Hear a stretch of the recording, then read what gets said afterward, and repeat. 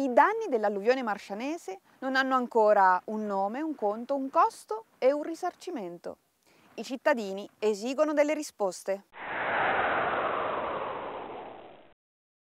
Tre mesi e mezzo dall'alluvione del 12 novembre che ha messo in ginocchio sostanzialmente il quartiere Ponte e, e tutto quello che c'era intorno, sia per quello che riguarda i privati sia per quello che riguarda le attività commerciali, abbiamo qui alcuni di coloro che hanno subito danni e, che, appunto, dai quali cercheremo di capire come è la situazione ad oggi. Claudio Mattioni abita in via Acqua Calda, ribattezzata dopo l'alluvione in via Acqua Alta. Com'è la situazione? La situazione attuale è quella che si può vedere, quella che deriva un po' dall'iniziativa privata, almeno per quello che riguarda me, nel senso io non, non, non ho notizia dei fatti che riguardino aziende del, del, posto se non qualche esercizio che ho sentito così dire. Per quello che mi riguarda è ogni famiglia che conosco nella via dove abito ha provveduto in via eh, autonoma per eh, rimettere diciamo, in sesto tutto quello che è stato eh, diciamo, rovinato e tutto ciò che eh, ha procurato questo enorme disagio per eh, un periodo che comunque è stato per qualcuno molto prolungato. Io ho notizia di famiglie presso il, eh, proprio presso il tennis che hanno ancora eh, dei disagi eh, derivanti da quel tipo di problematica e ancora hanno delle infiltrazioni rilevanti. Per tutto ciò che riguarda il, il recupero c'è stata un, una domanda che è stata fatta da tutti i privati, almeno di quelli, quelli, di cui io ho notizia al, al municipio, al comune, per avere un indennizzo all'inizio, eh, non ho avuto alcuna risposta fino ad oggi, eh, speriamo che ci sia almeno eh, un interesse da parte della, del Comune per avere se non altro un'informativa che poi non è, non è, stata sempre puntuale, almeno eh, per quello che mi riguarda. Ecco. In via Ponticelli c'è il ristorante Rosatelli che in quel 12 novembre in due ondate ha visto andare in malora tutto quello che aveva ci è voluto del tempo. Giuliano Rosatelli mh, colui che diciamo, guida questa, questo ristorante. Com'è la situazione ad oggi e le prospettive? La situazione, siamo ripartiti con le nostre forze e nelle condizioni eh, in cui siamo riusciti da soli a rimetterci in piedi. Non c'è stato nessun aiuto da parte di nessuno e nessuno ha pensato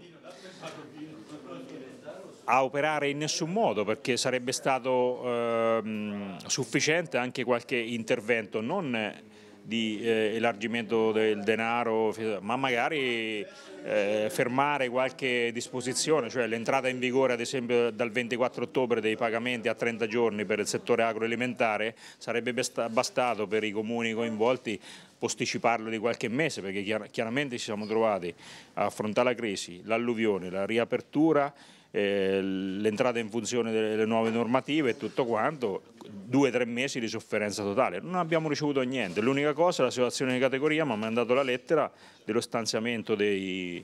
dei milioni che lo Stato ha fatto per eh, tutte le regioni coinvolte. E la situazione di categoria parla di 90 giorni affinché eh, la regione eh, deciderà eh, l'utilizzo, ma a tutt'oggi nessuna istituzione comunale, provinciale, regionale ci ha contattato per, eh,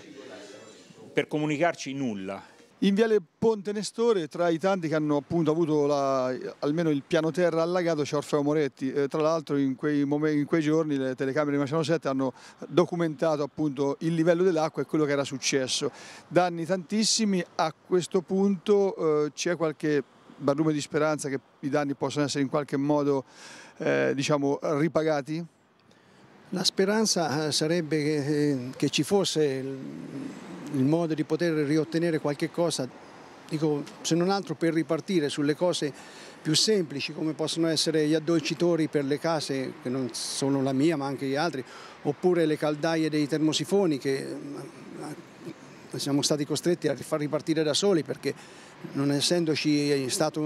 niente, insomma, eh, l'abbiamo rimessa avanti da soli. Vorrei far presente il fatto che non si è presentato nessuno e nessuno ci ha fatto sapere niente di quello dell'evolversi della situazione per quanto poteva essere un rimborso oppure rimborso, parliamo di rimborso insomma, ma eh,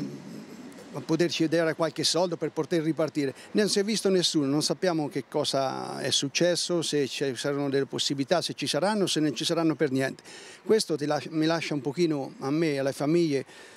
eh, dietro casa mia insomma un, un pochino male ci lascia perché noi abbiamo avuto, siamo stati le famiglie più colpite perché abbiamo avuto un metro e 40 di acqua in casa, quindi non è più una questione eh, dell'impianto elettrico oppure eh, lì adesso si parla anche del, della gestione dei muri che si sono sicuramente allentati, la bonifica, ci sono tante cose sotto.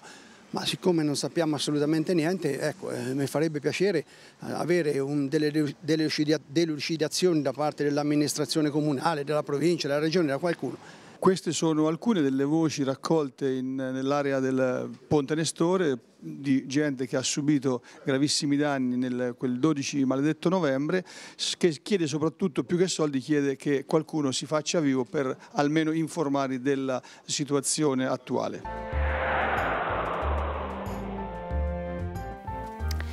Per gli aggiornamenti e le informazioni su tutto quello che accade nel comune della Media Valle del Tevere, continuate a seguire Marciano 7 negli orari, nei giorni e sui canali che leggete in sovraimpressione e in ogni momento su www.marciano7.it.